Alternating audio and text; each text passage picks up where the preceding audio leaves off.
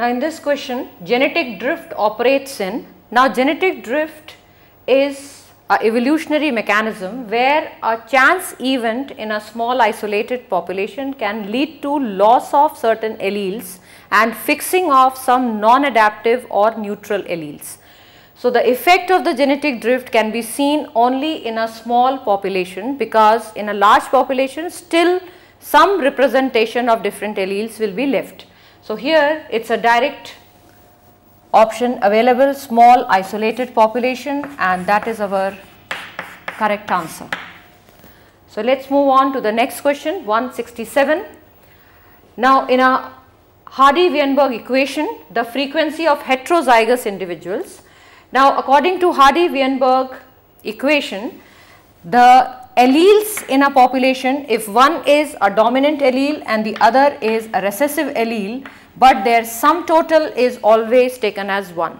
But if we take the equation for the genotypes and we know that the genotypes are in pair, the alleles are in pair in the genotype. So, we square this equation and we get p square plus 2pq plus q square is 1 where P square is representing homozygous, this is heterozygous and this is homozygous recessive. So, here it is the 2PQ which is the heterozygous individuals and this is our correct answer that is option number 2. So, we can move on to the next question 168.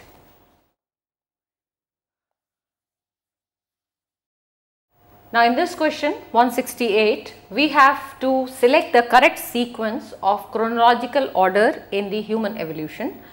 So in this the four hominids which are given here Ramapithecus, Australopithecus, Homo habilis and Homo erectus.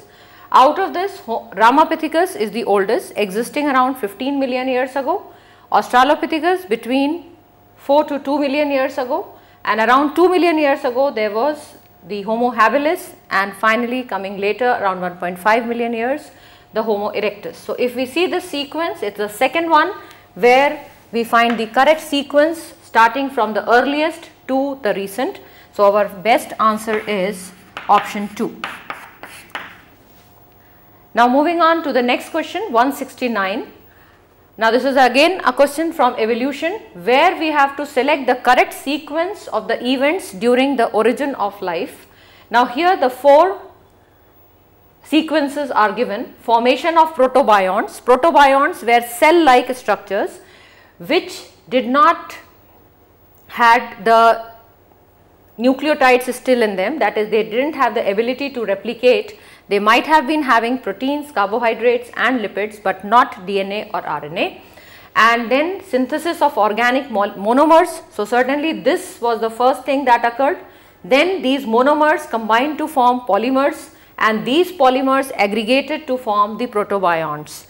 And once the protobionts were formed, they acquired the ability to replicate by the origin of the genetic material. So, our choice here is 2, 3, 1 and 4 that is given in option number 3. So, our answer is 3. So, let us move on to the next question 170.